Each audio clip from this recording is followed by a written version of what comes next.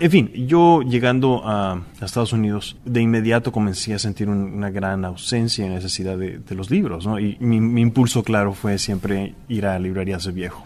¿no? Y para mí las librerías de viejo eran un lugar liberador, muy especial, que eran muy distintos, digamos, que la biblioteca de, de la escuela donde yo estaba, ¿no? Claro, yo iba mucho a la biblioteca y sacaba libros, ¿no? Pero me molestaba no poder quedarme con los libros, me molestaba que los libros tuvieran que regresar.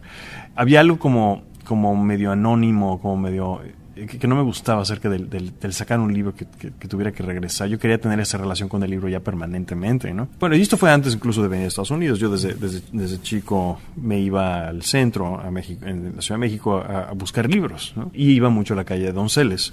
Eh, la, calle de Donceles, que es eh, la, la, calle más antigua de la Ciudad de México. El, nombre Donceles es un nombre colonial. Y como sabe todo aquel que ha estado en el centro de la Ciudad de México, cada calle tiene una una especialidad, ¿no? Si quieres comprar fajas, te vas a la, la calle X, ¿no? Si quieres comprar electrónicos, otro, eh, El Salvador, este, o la de República de Brasil, o Uruguay, etcétera, ¿no? Ahora, si quieres comprar libros, vas a Donceles. Y ahí están los libreros de viejo que, que llevan toda la vida ahí.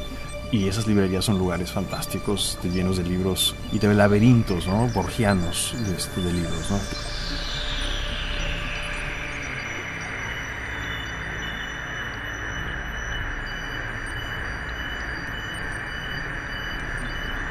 O sea que empiezas la campaña, empieza un poquito lento, pides ayuda de la jornada, la jornada te da la mano y de repente tienes esta um, avalancha. Pero tú dices que tú estabas intercambiando los libros por tu trabajo. Exactamente. Entonces lo que sucedió fue que las donaciones comenzaron a ser de más y más libros. Este, ahora, yo di muchísimas obras mías, o sea, di toda la obra que realmente tenía hecha yo, yo produzco mucha obra este, en papel, eh, pero sí regalé mucha, mucha obra. Bueno, no, no es regalar, es intercambio. Pero eh, hubo quienes llegaron y me regalaron 500 libros, por ejemplo, ¿no?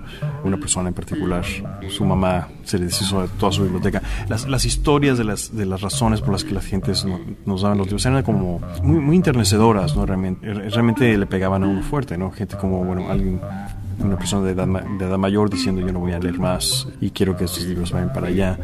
Eh, un abogado que se jubilase, dejaba de practicar leyes, me dio toda su biblioteca de leyes, en fin, un montón de gente me daba cosas.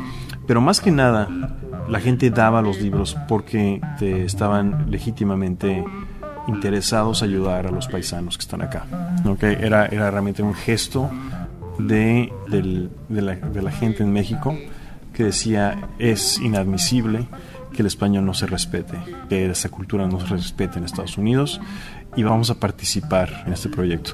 Y un amigo mío, un, un artista, pues observó una cosa que yo no la había percatado realmente, pero decía, bueno, es que decía, me encanta la ironía de que un país como México, el del supuestamente del tercer mundo, mande ayuda a la ciudad más rica del planeta, ¿no? Que Nueva York sea incapaz de, ayudarse a sí mismo y que tenga que intervenir el pueblo mexicano a ayudar. Una maravillosa reversión de papeles, ¿no?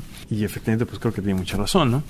No era la intención, pero efectivamente de, de inmediato señala, el proyecto buscaba señalar esta ironía de que cómo es posible de que tanta gente que habla un idioma no, no existan suficientes mecanismos para, para que este idioma se promueva, ¿no? Ahora, no, no quiero minimizar toda la labor que mucha gente ya está haciendo en Nueva York, que es, que es grande y que es importante, eh, sin más la necesidad y el interés de, de, que esos esfuerzos también se noten, que la gente los, los, los, reconozca. ¿no? El objetivo del proyecto es realmente abrir esta, esta conversación, ¿no? de, bueno, abramos un poco los ojos ¿no? como ciudad, ¿no? como, como, como país. ¿no?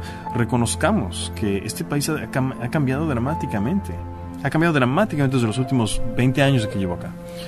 La relación con la, con la cultura latina, por ejemplo, antes se veía como una cosa como étnica y remota, exótica. Ahora se ha infiltrado en, todos los aspectos de la sociedad. no de la sociedad, de la sociedad en general de Estados Unidos. La comida, la música, la cultura, este, un montón de cosas. ¿no? Lo que pasa es que no, la gente no se da cuenta del grado a través del cual estos cambios se están dando. ¿no? Mi, percepción es precisamente el, enorme debate este, y las enormes las actitudes reaccionarias de la derecha en relación a, los inmigrantes son un, síntoma directo del terror que tienen por ver el, grado en que esto ha cambiado y ha cambiado el panorama político del país. Es decir, que por ejemplo ya no es posible este, ser presidente en este país sin el voto latino. ¿no? Y ya no es posible ser político sin tener una, una postura en relación al debate migratorio. Eh, esto es un tema que no, se va, no va a desaparecer y que es, es, hora como de, de confrontar finalmente.